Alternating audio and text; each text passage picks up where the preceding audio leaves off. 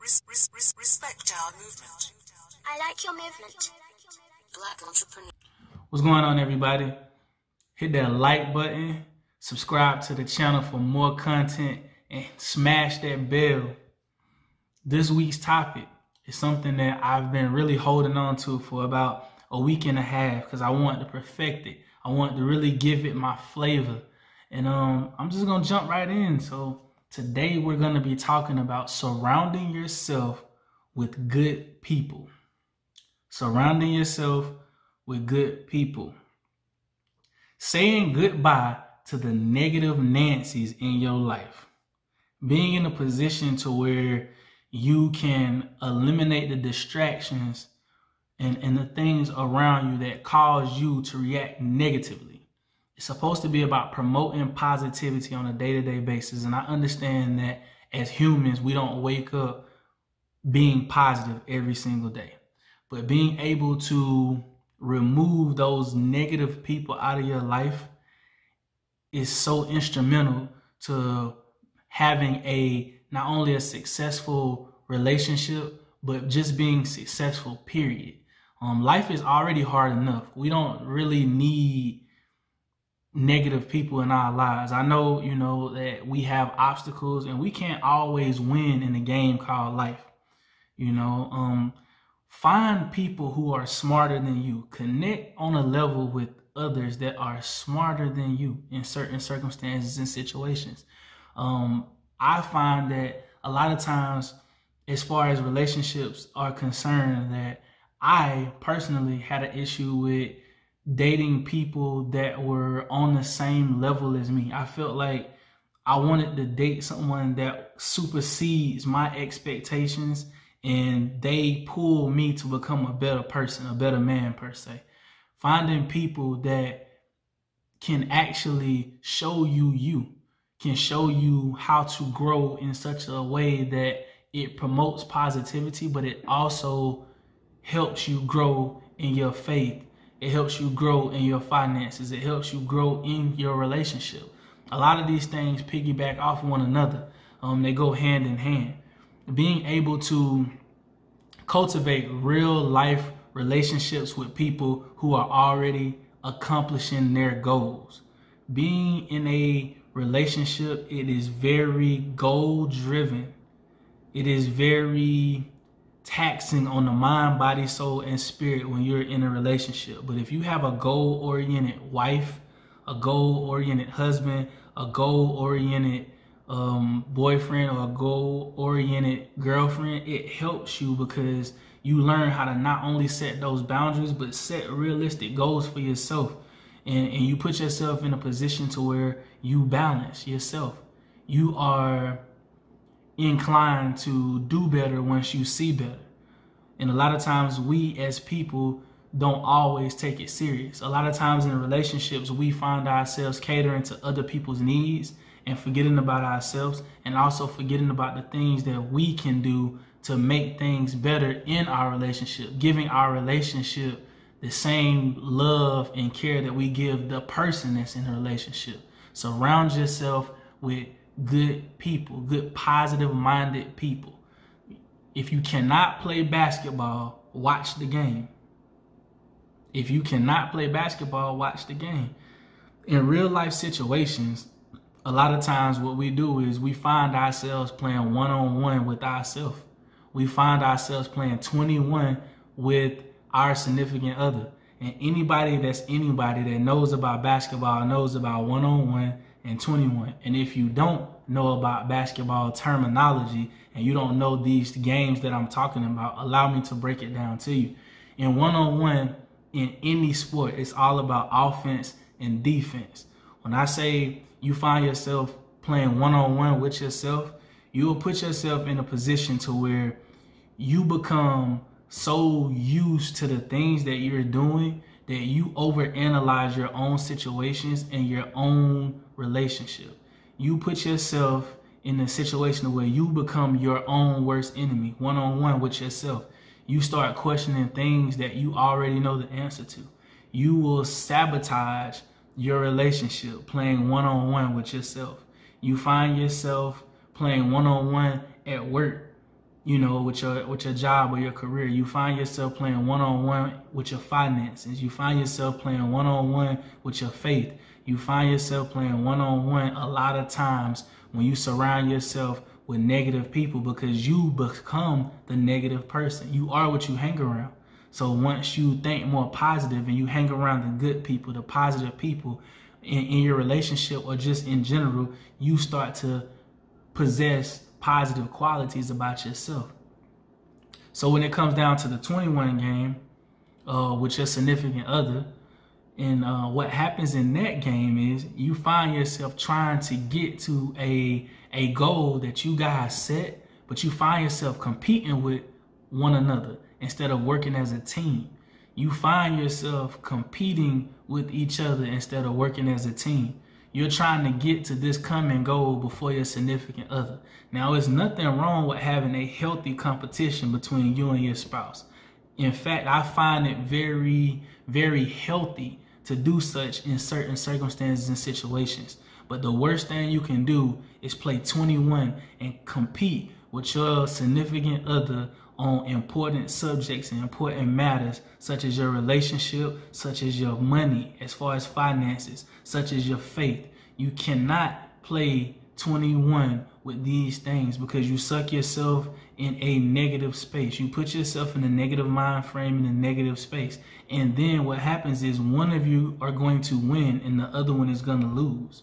Therefore, you should surround yourself with positive people, positive like minded people to where instead of playing one on one with yourself or playing 21 with your significant other, you are now on the team. You are on the same team with your significant other. You on the same team with your coworkers. You're on the same team with the members at your church. You're on the same team with these people to where now you're not competing with each other. You're helping each other. So if you're not helping, you're hindering. So a lot of times we as people find ourselves hindering our own situations. We're standing in our own way of our blessings. We're standing in our own way of things that we already know what we supposed to be doing. You know, they always say walk by faith and not by sight. A lot of times you can't see where you're going with your physical eyes. But that's why you're supposed to be so spiritually inclined that you can see things with your spirit your spiritual eye that you cannot see with your physical eye. Being in those predicaments. And back to the basketball story, you know, it's a whole lot easier playing on a team versus playing one on one with yourself or 21 with your significant other. I can guarantee that. Oftentimes we find ourselves in these these crazy situations because again we, we surround ourselves with people that don't mean us any good, whether it's you know, friends that we have, um, if it's co-workers that we have, we associate ourselves with all these people and we don't know how to set boundaries according to the circumstances and situations that we place ourselves in. When you surround yourself with people who love you and your life, it doesn't seem boring. It's fun. You find yourself doing things and you enjoy the things that you do for you and the people that's around you. When you surround yourself with people who love you for you, you will find that work no longer becomes work. It becomes your passion. You're driven. You're doing things that really inspire you to be a better you. When you surround yourself with people that love you, these these good people, you no longer have exes. You have friends. The people that you once loved, you will always love. But if you surround yourself with enough positivity, you can move past the hurt and start to see the good even in the people that did you wrong. When you surround yourself with people who love you, uh, your whole in, entire world changes right before your eyes. When you start surrounding yourself with good people, surround yourself with people that genuinely care about your feelings. They genuinely care about the things that you do and they genuinely have a honest, sincere, transparent view of you. These people can tell you when you're right. These people can tell you when you're wrong, and it does not affect you in a negative way. When you surround yourself with people who love you for you and that are good people, the world seems a whole lot smaller. Your opportunities become bigger and everything begins to seem endless because again, you have so much positivity surrounding you that you can't see beyond the positivity because you're in such a positive space. When you surround yourself with these good people that really love you for you, everything has a purpose. Everything, everything has a sole purpose in your life. We are here for a reason. It's something that happens today that happened for a reason so you could get to a place to where you're hurting and you needed to hear something that was said today something that i said is going to trigger you to be in a more positive state after you watch this video today being in a positive mindset being able to really take the time to grasp what it is to be a, a positive person for other people because your journey doesn't start and stop with you it starts with you, but your journey never stops. You're ever, ever, and I mean this, you are forever indebted to other people. You have a purpose on your life. You have a calling on your life. You are blessed in certain areas that I don't know anything about.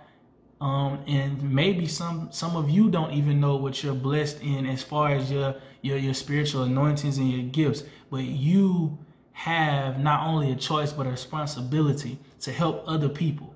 And remaining in a positive state is the best way that you can do that. All the negativity that you surround yourself with, you become everything that you surround yourself with. So the more negative you are, the more negative you put out. That's why you have a lot of arguments in relationships. You have a lot of disagreements. You have a lot of backbiting. You have a lot of stress you worry yourself to a point to where you can't find that balance because you're surrounding yourself with negativity. Surround yourself with good people. Surround yourself with people that's going to help elevate you to that next level, not pull you down. Surround yourself with these people that are there to not only encourage you, but inspire you, to teach you, to mentor you so you can go out and encourage, so you can go out and inspire, so you can go out and, and, and, teach, so you can go out there and motivate other people, other believers. Find yourself a situation to where you are comfortable with self and you can promote positivity. I don't care if it's at work. I don't care if it's in your relationship. I don't care if it's in your marriage. I don't care if it's with your kids. I don't care if it's with someone you're dating, someone you're courting. Find yourself in a better situation than you are today, than you were yesterday.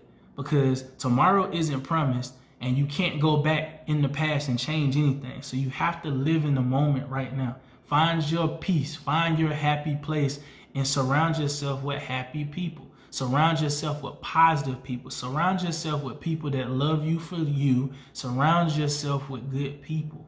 It's a lot of good people in this world. But on the flip side of that, it's a lot of bad people in this world as well.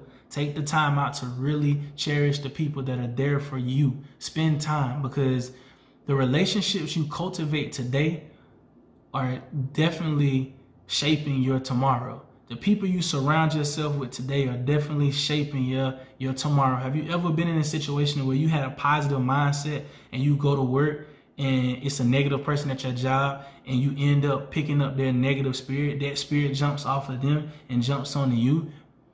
They can say something that rubs you the wrong way and now you have an attitude or have you ever been at home and you sitting around with your girlfriend and your boyfriend and they had a bad attitude about something and you stay in that space too long and now you start to have a bad attitude? These things happen all the time. The transference of energy happens all the time. Be careful about who you spend your time with. Be careful about what you spend your time doing. Be careful about what you're listening to. Be careful about what you're seeing. Spend time being as positive as you can and learn how to give back. Pay it forward. If you if you see someone in need help them, surround yourself with good people and good things that happen. Surround yourself with bad people, then you're destined for doom. Be in a space to where you can understand who you are as a man, as a woman, as an individual, as a human being. Being around positivity promotes positivity. If you are around the right people, you can feed off of that positive energy and it'll always bring you up. The Lord has a, a, a gift for you and you have a purpose. put yourself in a predicament to where it's a good predicament and not a bad one. If you're in a negative situation right now, remove yourself. If you're in a situation to where you feel like you're lost, you're hopeless, you need help with something, reach out to someone that can help you. If you feel like you need a hug, find someone that can give you a hug. If you feel like you need love, learn how to love yourself and learn what it really means to love you and to love other people. Put yourself in these predicaments to always, always remain positive, even in negative situations, because God not only looks at what you do, He looks at your intentions. Make sure your intentions are always pure. Make sure you're always doing the best of your ability and never forget to promote positivity by surrounding yourself with positive people. For those that are looking for merchandise, merchandise will be coming soon. All access backstage hoodies will be going on sale. It's a lot of stuff going on. It's 2020. It's time to start doing these vision boards. It's time to start going out and, and, and, really seeing the world. It's time to travel. It's time to spread the, the love, these, these wonderful words. It's time to be motivational. It's time to be encouraging. It's time to uplift our brothers and sisters. It's time to really get our mentorship on we really getting ready to take over. I'm getting ready to take over. It's unlimited from here on out. The chains are off and the sky is, there is no limit for me. There is no limit. This is me all day, every day. One love.